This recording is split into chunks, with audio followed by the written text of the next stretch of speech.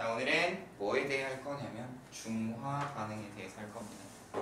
중화 반응에 대해서 할 수 있도록 할게요. 멀리는 내가 보내지 않을게. 멀리 보내지 않을게.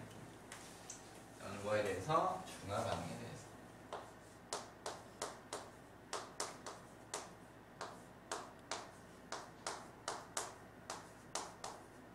자 우리 지난주에 어떤 거 배웠습니까?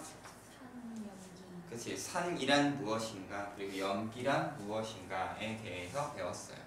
오늘은 이 산과 염기를 어떻게 할 거냐? 서로 섞어 볼 거야. 서로 섞으면 어떠한 일이 일어나느냐라는 거지. 자, 그 전에 우리는 이 중화 반응을 알기 전에 뭘 그럼 우리는 산성이라고 하고 뭘 그러면 염기성이라고 하느냐? 한번 좀 정리를 하고 가볼까 해요. 자, 우리가 산이라고 하는 거는 뭐였습니까? 수용액에서 뭘 내는 물질? 그치 수소 이온을 내놓는 물질을 우리는 뭐라고 한다? 우리 그걸 산이라고 하더라. 염기라고 하는 거는 뭐다? 염기는 뭡니까? 수용액에서 무엇을 내어 놓는다?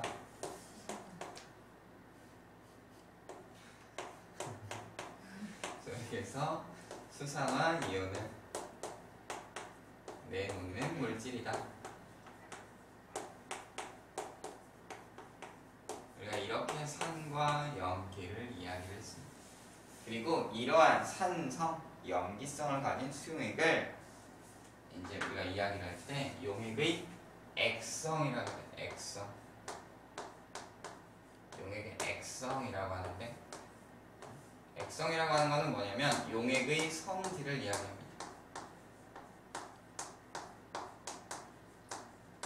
얘가 산성이냐 염기성이냐 이런 걸 얘기하는. 근데 수소이온도 없고 수상이온도 없는 이런 물질도 있을 거 아니야? 그러니까 이러한 물질을 우리는 뭐라고 하느냐? 중성 용액이라고 하는 거지. 따라서 용액의 성질이라고 하는 건 우리는 크게 세 가지. 산성이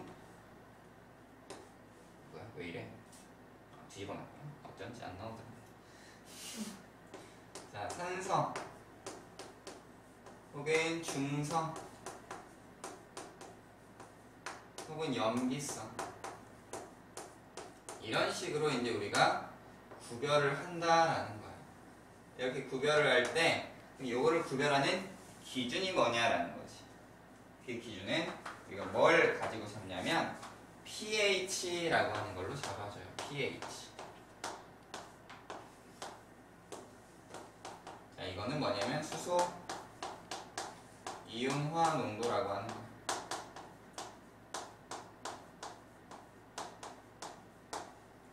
수소 이온화 농도라는 것으로서 0부터 14까지의 값이 있고요.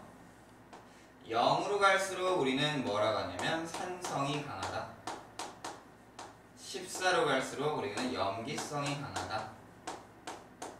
이렇게 이야기를 해요. 그리고 0과 14의 딱 중간에 있는 게 얼마야? 7이죠, 7. 7. 딱 7의 위치에 있으면 우리 이거를 중성 이라고 이야기합니다. 다시 한번 얘기해 보자면 pH가 pH가 예를 들어 7보다 작다. 7보다 작을 경우에는 어떤 용액이다? 그치, 산성이다. 자, pH가 7과 같다. 그럼 이건 뭐다? 중성이다. pH가 7보다 크다. 이런 뭐가 되는 거예요? 염기성이 되는 거지. 알겠습니까? 우리가 이렇게 산성, 중성, 염기성을 나눠볼 수가 있고 근데 우리가 딱 눈으로 봤을 때 수소 이온이 얼마나 들어있는지 알 수 있는 게 아니구나. 그렇죠? 그렇기 때문에 우리는 뭘 활용하느냐? 뭘 활용해서 이 pH를 알 수 있는 지시약이라는 걸 써볼 수가 있습니다. 지시약이나 pH 미터라는 걸 쓰게 지시약이나 pH 미터를 쓰게 돼요. 이 지시약 같은 경우도 이제 산성일 때는 색깔 근데 모든 산성용액, 중성용, 염유성용의 색깔이 같은 게 있고요. 혹은 이제 pH마다 조금씩 색깔의 차이가 있는 것들이 음. 있습니다. 우리가 이러한 이제 만능 지시약이라고 하고요. 그다음 우리가 일반적으로 쓸 수 있는 지시약에는 그러면 뭐가 있냐? 그냥 용액 액성만 딱 판단하는 지시약이 우리가 총 네 가지를 사용을 하게 돼요. 네 가지를 쓰는데 어떠한 것들이 있느냐? 한번 볼 수 있도록 할게요. 먼저 자, 산성, 중성, 염기성에 대하여 산성, 중성, 염기성에 대하여 각각의 액성을 판단할 수 있는 지시약들에는 뭐가 있냐? 첫 번째는 자, 리트머스 종이라는 게 있어요. 리트머스 종. 파란색이나 빨강색을 나타내는 종이인데 이거를 산성 용액이나 염기성 용액에 넣을 경우 색깔이 바뀌게 됩니다. 네, 두 번째는 페놀프탈레인.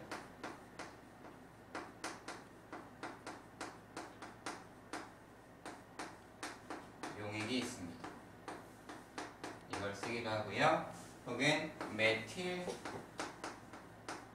오렌지 용액.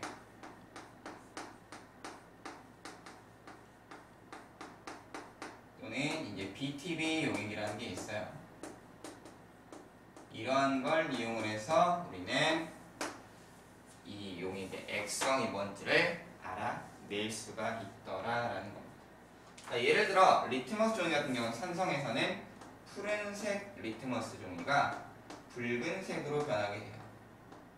푸른색 리트머스 종이를 어떤 용액에 넣어봤더니 붉은색으로 변하더라. 라고 하면 이거는 뭐다? 산성이구나. 라는 걸 알 수 있는 거지. 반대로 염기성 같은 경우는 붉은색 리트머스 종이를 푸른색으로 바꿔주는 효과가 있습니다. 이렇게 써먹게 돼요. 페노프탈라인 같은 경우는 산성에서는 무색을 나타내고요. 중성도 역시나 무색입니다. 하지만 염기성에 넣게 되면 붉은색을 띠게 돼요. 그러니까 어떤 용액에 다른 용액에 계속 첨가를 했더니 갑자기 붉은색으로 바뀌었다. 그럼 용의 액성이 뭐가 되었구나? 염기성으로 변했구나 라는 걸 알 수 있는 거죠. 메틸 오렌지 같은 경우는 산성에서는 붉은색, 중성에서는 노란색, 염기성에서도 노란색을 나타내는 용액입니다. 그러니까 아무래도 페놀프탈레인이나 메틸 오렌지 같은 경우는 산성과 중성, 중성과 염기성에서 차이점이 그렇게 크게 두드러나지만 페놀프탈레인은 산성과 중성의 구분이 안 되고 메틸 오렌지는 중성과 염기성의 구분이 잘 되지 않으니 아무래도 산성에서 중성으로 막 옮겨지는 이런 상황에서는 우리가 쉽게 구별할 수 있지만 중성과 염기성, 산성과 중성에서는 잘 구별이 가지 않는 이런 단점이 있다 라는 것도 여러분이 생각을 해주시면 되겠어요. 마지막으로 이제 BTB 용액 같은 경우는 산성에서는 노란색을 나타내고요. 중성에서는 초록색, 염기성에서는 푸른색을 띠게 되니 아무래도 액성에 따라서 비교하기에는 뭐가 제일 좋겠어? BTB가 가장 써먹기에는 좋겠다라는 거죠. 알겠습니까? 그 다음에 이렇게 액성뿐만이 아니라 조금 더 정확한 pH를 알고 싶다라고 하면 만능 지시약을 쓰게 되는데 여러분 초등학교 때 학교에서 실험을 해본 양배추 지시약 같은 게 대표적인 만능 지시약이죠. 자 산성으로 할수록 무슨 색을 띠게 되고 붉은색을 띠게 되고 중성으로 할수록 노란색, 초록색, 초록색으로 바뀌다가 염기성으로 가게 되면은 푸른색, 군청색과 보라색깔 띠게 되는 게 이제 뭐예요? 이 양배추 지시약이죠. 이렇게 이 양배추 지시약을 이용을 해서 pH에 따라 좀 색깔 변화를 볼 수 있겠더라 라는 걸 알 수가 있습니다. 특히 이 양배추 지시약 같은 경우는 안에 있는 이제 음, 안토시아닌이라고 하는 색소 성분이 있는데 이 안토시아닌이 pH에 따라서 색깔을 바꿔 가게 돼요. 그러니까 장미꽃 잎이나 아니면 적색 양배추 혹은 자색 고구마 이런 거에는 안토시아닌이 되게 많거든요. 특히 또한 그 길가에 자라는 수국이라는 꽃 혹시 알아요? 수국이라는 꽃이 있는데 수국이 어떻게 생겼냐면 이렇게 생겨가지고 이게 이제 동그랗게 이렇게 생겼어요. 동그랗게 생겼고 여기 이제 잘게 작은 꽃들이 피어나는 게 수국인데 이 수국도 또한 pH의 영향을 많이 받게 됩니다. 이제 꽃다발에 많이 들어가는 게 수국인데 그래서 수국의 별명이 7변화라고 해요. 7변화. 7변화라고 하는 이유는 뭐 때문이냐면 토양의 pH에 따라서 토양의 산성도에 따라 꽃의 색깔이 달라집니다. 산성도가 높을수록 붉은색을 띠게 되고요. 그 다음에 산성도가 낮을수록 산성도가 낮다는 얘기는 pH가 높다는 얘기예요. pH가 높을수록 푸른색 꽃을 피워내는 게 수국이더라. 라고 이 정도로 여러분이 아시면 되겠어요. 알겠습니까?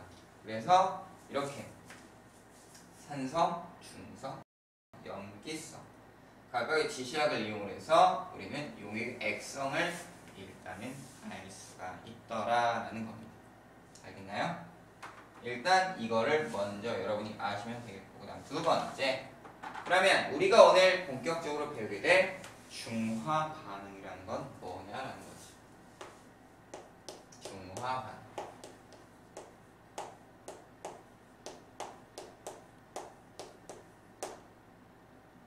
자, 중화 반응에 대해서 우리가 간단하게 한번 생각을 해본다면 중화라고 하는 게 뭐야? 가운데가 된다라는 거예요. 가운데 중자를 쓰니까. 즉 산성도 염기성도 아닌 중성이 되겠다라는 거지. 그 중화 반응은 우리가 어떻게 표현을 하느냐? 산과 염기가 만나서 뭘 만들어내느냐? 물과 염을 형성하는 것을 우리는 중화 반응이라고 이야기를 합니다. 그럼 왜 이거를 중화 반응이라고 이야기를 하느냐? 실제적으로 어떤 반응이 일어나느냐? 산에는 우리가 어떻게 표시한다 그랬어? H, A 이렇게 표현한다 그랬죠. 근데 여기는 염기는 B, OH 이렇게 표현한다라고 했습니다. 그렇게 될 때 이 이온 식들을 풀어서 써주다면 어떻게 되는 거야? 수소 이온과 그 다음에 임의의 음이온 그 다음에 임의의 양이온과 OH 수산화 이온 이런 식으로 우리가 이야기를 해볼 수가 있는 거지. 그 중에 중화 반응이라고 하는 거는 여기 있는 수소 이온과 수산화 이온이 만나는 거야. 그럼 만나면 뭘 형성하겠어? 물을 형성을 하겠죠. 물을 만들어낼 거고 그 다음에 여기 있는 임의의 음이온과 임의의 양이온은 어떻게 돼? 남아 있는 거잖아. 구경꾼이 되어서 이 반응을 열심히 지켜보더라 라는 거지. 그래서 물과 남아있는 얘네들이 뭉쳐서 이제 염이라는 걸 형성하더라 라는 겁니다. 알겠습니까? 이거를 우리가 뭘로? 알자 이온 반응식으로 한번 나타내 본다면 어떻게 표현할 수 있겠어요? 수소 이온. 이건 이제 물에 녹아 있으니까 플러스. 그 다음에 수산화 이온. 만나면 뭘 형성한다? H2O 물을 만들어내더라 라는 거잖아요. 이렇게 이야기해 볼 수가 있는 거고. 이때 구경꾼 이온으로는 뭐가 있겠어? 구경꾼 이온으로는 임의의 음이온과 임의의 양이온 이두 가지가 구경꾼 이온이 되겠더라라는 거지. 이 둘이 만나서 물에 잘 녹게 된다면 이거는 이온화되어서 물 속에 있는 거고 이 둘이 만나서 만약에 물에 잘 녹지 않는다라고 하면 이제 불용성 염이라고 하는 걸 만들어 내겠죠. 예를 하나 들어볼게요. 예를 하나 들어보겠습니다. 뭐와 뭐가 만나느냐? 자, NaOH와 NaOH와 그 다음에 HCl 이 두 가지가 만난다라고 해봐요. 만나면 어떻게 되는 거야? 누구랑 누구랑? 여긴 수산화이온과 수소이온이 만나겠죠. 그럼 뭘 만들어?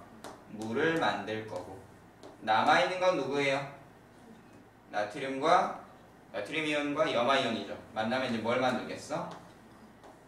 NaCl 소금 물을 형성을 하겠다라는 거지. 이건 이제 물에 잘 녹는 경우고 이때 이제 얘가 알자 이온 알자 이온에 의해서 물이 만들어지고 그다음에 구경분 이온으로 나트륨 이온과 염화 이온이 남겠다라는 건데 자, 또 다른 반응을 하나 우리가 살펴본다면 이번에는 CA 자, OH2 이거랑 H2CO3 탄산과 수소나 칼슘이 만나면 이제 그때 어떻게? 뭐가 만들어져요? 일단 두 개의 물이 만들어질 것이며 그 다음 여기는 탄산이온과 칼슘이온이 만나면 어떻게 되겠어? CaCO3 탄산칼슘을 만들어서 침전이 되겠죠. 이때는 불용성 염을 형성을 하더라. 흰색 앙금을 만들어내는 거죠. 알겠습니까? 그래서 이러한 반응을 우리가 살펴볼 수가 있겠더라라는 겁니다. 알겠죠? 이러한 내용으로 우리는 중화 반응을 정리를 해볼 수가 있는 거죠. 알겠습니까? 그럼 이러한 중화 반응이 일어날 때, 중화 반응이 일어날 때, 이 중화 반응은 그럼 어떻게 확인을 할 것이냐라는 거죠. 중화 반응은 어떻게 확인을 할 거냐? 자, 이 중화 반응을 확인하는 첫 번째 방법은 뭐겠어요? 첫 번째 방법. 중화 반응 어떻게 확인할까? 그렇지. 지시약의 지시약의 색 변화를 통해서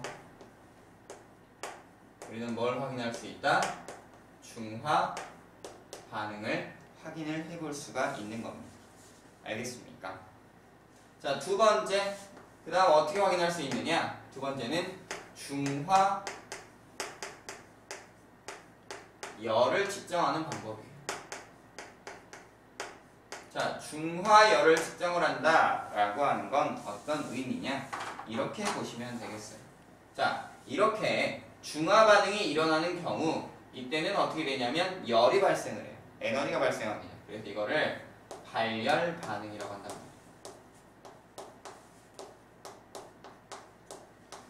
그러면 만나는 산 수소 이온과 만나는 수산화 이온이 많으면 많을수록 더 많은 열이 발생을 하겠죠. 그렇게 되다 보니 중화열은 어떻게 그러면 나오게 되느냐?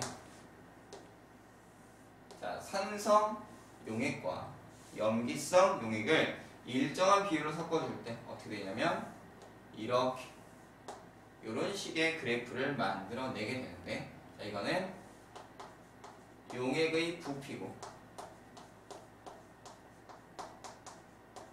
여기는 온도라고 한다면 아무래도 열이 발생을 하니까 많이 발생 많이 만날수록 많은 열이 발생을 하겠지. 그럼 어떻게 되겠어? 온도가 높아지겠죠. 그럴 때 온도가 가장 높은 이 지점이 뭐가 되겠다? 여기가 중화점이 되겠다라는 거예요. 중화열이 가장 많이 발생하는 곳이 뭐다? 중화점이다라는 겁니다. 알겠어요? 그래서 우리가 이 중화열을 가지고 중화열 가장 높은 지점을 가지고 중화점 언제 중성 용액이 되었느냐라는 걸 볼 수가 있는 거죠.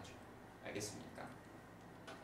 자, 그다음에 세 번째는 뭘 가지고 측정하냐면 세 번째는 자, 3 이거는 전류의 세기를 측정을 하게 되는데 전류의 세기를 측정을 합니다. 자, 보통 이제 우리가 이온을 물에 녹이게 되면 이온을 물에 녹이고 중화 반응을 일으키게 되면 자, 용액의 부피가 증가할수록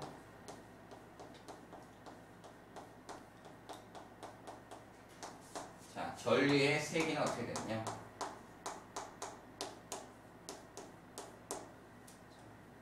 어떻게 되냐면 요렇게 낮아지다가 이렇게 올라가는 모습을 볼 수가 있어요. 그러면 우리가 중화점이라고 하는 건 어떻게 측정하는 거냐면 가장 전류 세기가 낮은 지점 여기를 우리는 뭘로 측정하냐면 중화점으로 측정해요.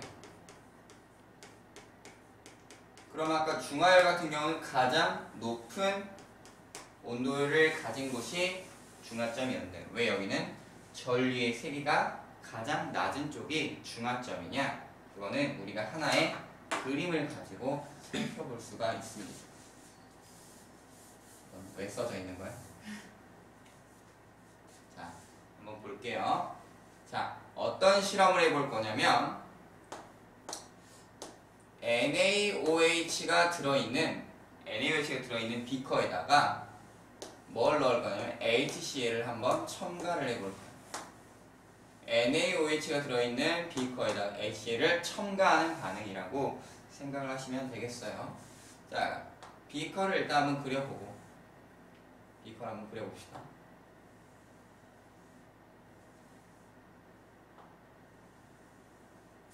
자, 이게 첫 번째 비커. 그 다음에 두 번째 비커.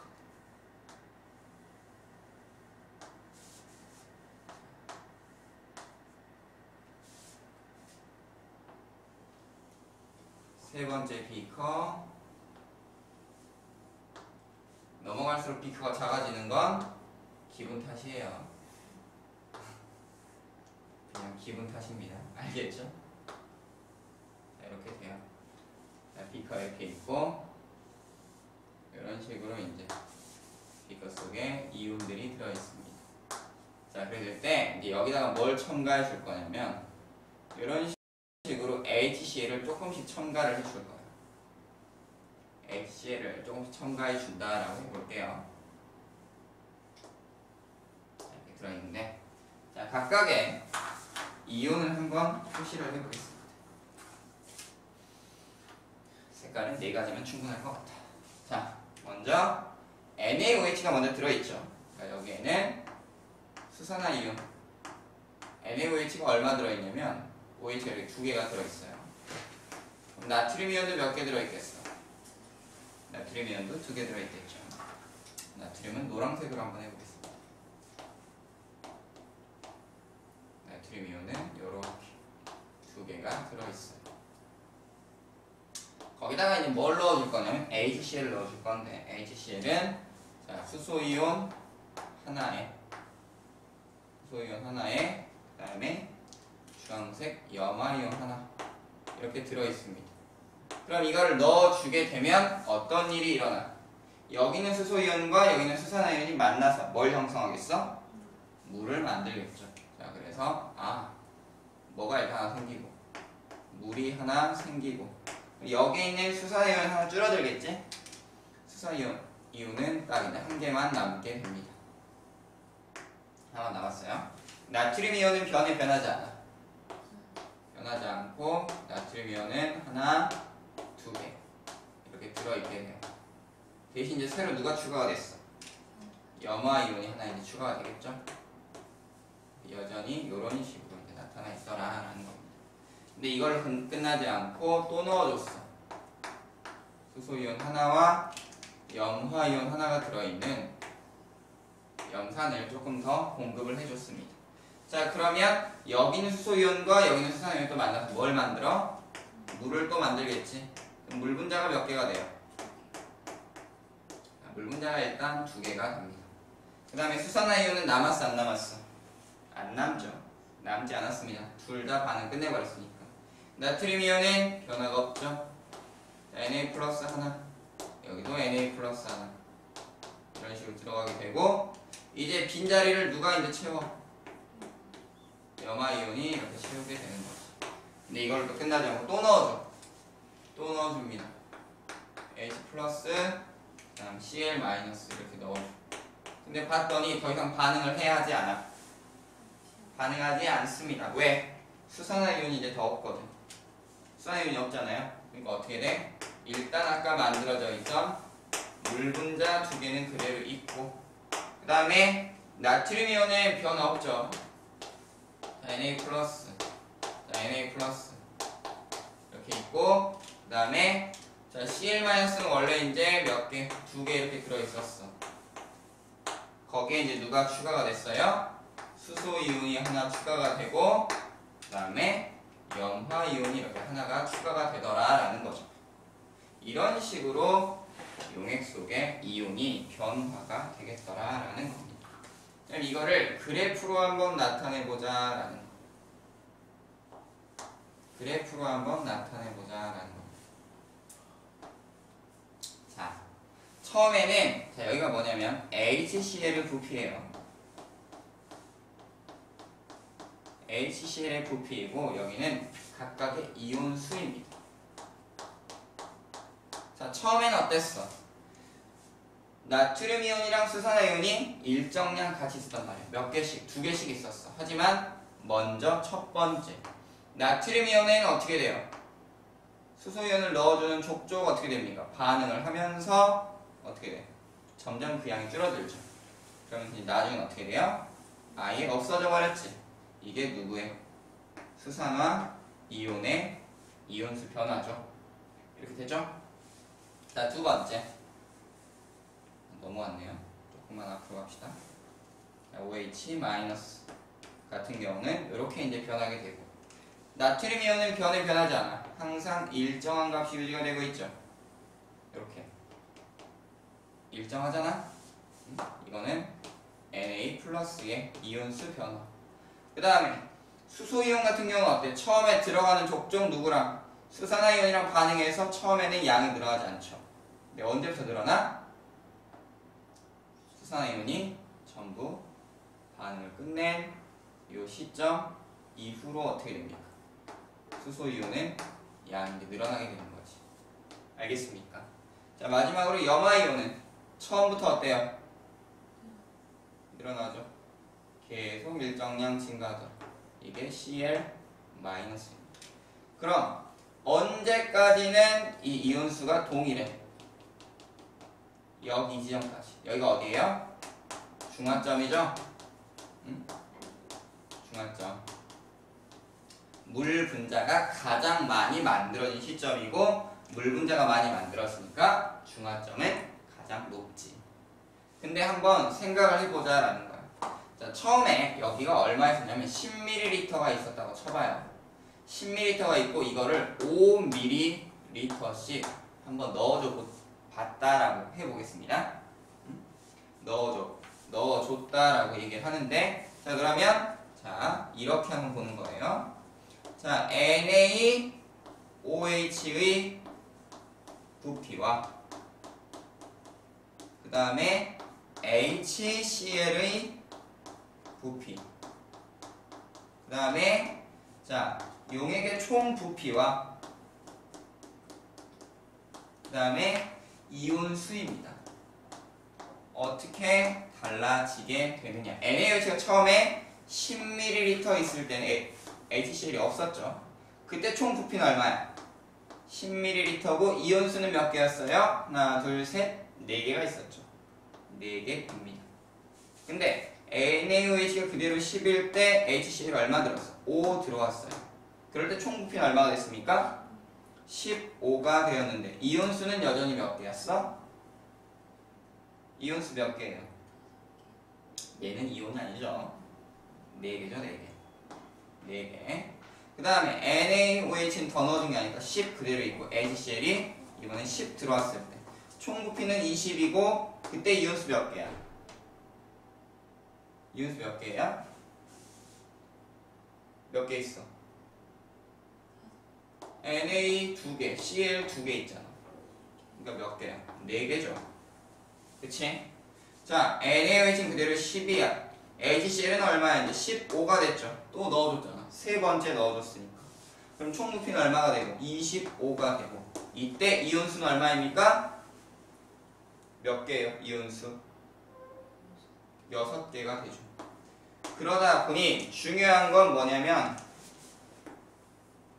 단위 부피나 여긴 10ml에 4 여기는 15ml 속에 이온 4개 20ml 속에 이온 4개 여긴 25ml 속에 이온 6개 이렇게 되잖아. 보니까 어디가 제일 전류가 약하게 흐르겠어? 물이 가장 많은데 이온 수는 가장 적은 여기에서 전류 쓰기가 가장 낮겠지 알겠습니까? 그래서 전류의 세기는 어디서? 중화점에서 가장 낮다라는 겁니다. 그 다음에는 이제 일정하게 늘어나기 때문에 중화점에서 이렇게 세기가 일정하게 좀 다시 늘어나는 경향을 띠더라라는 겁니다. 알겠습니까? 그래서 이러한 원리를 우리가 이제 볼 수 있겠더라라는 거지. 알겠습니까? 이렇게 되는 거고 자 이제 그러면 다른 얘기를 하나 해볼게요. 다른 얘기. 여기는 지금 이온수가 1대1로 반응을 하는 거잖아. 1대1로 반응을 하는 거죠. 그러다 보니까 그러면 이번에는 어떻게 반응을 하느냐? 자, 예를 들어서 같은 농도예요. 동일한 농도의 황산 황산이 10ml가 있어. 그러면 얘를 전부 중화를 시키기 위해서 필요한 얘를 전부 중화시키기 위해서 필요한 수산화 칼륨의 수산화 칼륨의 부피는 얼마일까? 동일한 농도라면 동일 농도라면 얼마가 필요할까요? 수산화 칼륨 20ml가 필요한 겁니다. 왜냐하면 황산의 화학식은 어떻게 돼요? H2SO4지. 그럼 이거는 하나당 수소가 두 개씩 들어있잖아. 그러다 보니까 수산 칼륨 얼마 필요한 거야? 2KOH. 음? 이렇게 돼야 물이 어떻게 만들어지고 2H2O 만들어지고 그 다음에 K2SO 황산 칼륨 이렇게 되는 거지. 따라서 두 배가 더 필요하더라 라는 거예요. 왜 여기는 화학식에 보니까 수소가 이온이 두 개씩 들어있으니까 알겠습니까? 이런 내용도 우리가 생각을 해봐야겠더라 라는 겁니다. 알겠죠? 이렇게 되는 거고 자 이러한 중화 반응을 그럼 우리 일상생활에서는 어떻게 활용을 하느냐라는 거지. 중화 반응의 활용입니다. 자,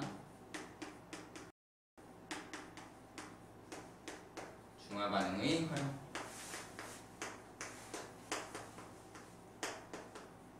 가장 많이 이용되는 예시는 어떤 게 있을까요?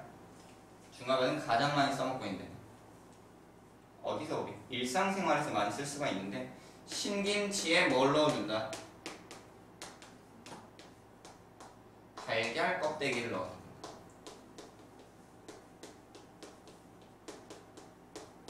그럼 이제 신맛은 제거가 되죠. 왜냐하면 산성 물질에다가 달걀 껍데기, 탄산 칼슘을 넣게 되면 수산화 칼슘이 생기면서 중화가 되겠지. 알겠습니까? 자, 두 번째는 뭐가 있냐면 자, 어, 생선에다가 뭐 뿌려줘? 레몬즙을 뿌려줍니다. 생선에 레몬즙을 뿌려주는 건데 생선에는 암모니아 어, 여기 이제 염기성 성분이 있어요. 그게 이제 냄새를 일으키는 거거든. 그래서 그거를 뭘로 산성 물질을 넣어줌으로써 중화를 시켜주는 거지. 알겠습니까? 또 그 다음에 벌에 쏘인 데다가 뭐 암모니아 수를 발라주더라. 자, 벌 침 속에는 폼산이라고 하는 독이 있어요. 산성 물질인데 여기에다가 암모니아 수를 넣게 되면 이게 중화가 되는 거지. 알겠습니까? 그 다음에 제산제. 제산제 같은 경우는 위산 과다에 의해서 속쓰리맨, 겔포스 이런 거 있잖아요. 제산제를 먹게 되면 근데 여기는 제산제 속에는 뭐가 있냐면 약염기성. 약염기입니다. 약염기. 근데 위 속에는 염산이 들어있잖아. 근데 왜 약염기를 쓰는 걸까? 강염기 안 쓰고. 위험하니까 먹고 죽을 수가 있잖아요.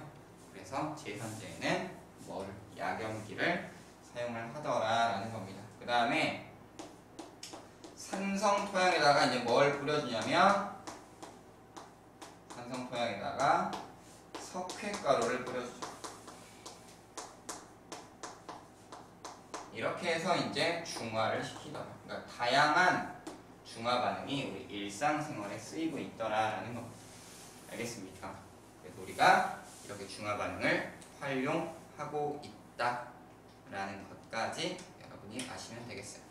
알겠죠? 자, 이렇게 해서 중화 반응 정리하고요. 잠깐 쉬었다가 이어서 하도록 하겠습니다.